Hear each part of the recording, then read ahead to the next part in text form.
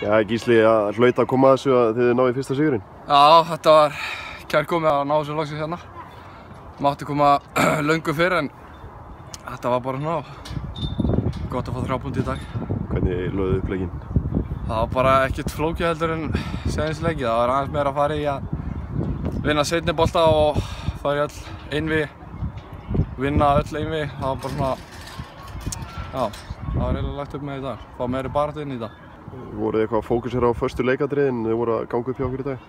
Nei, að, þú veist, við erum alveg búin að fara yfir það sko, en kannski bara datt þetta meira inn í dag heldur en í hérna, hinn leikjónum.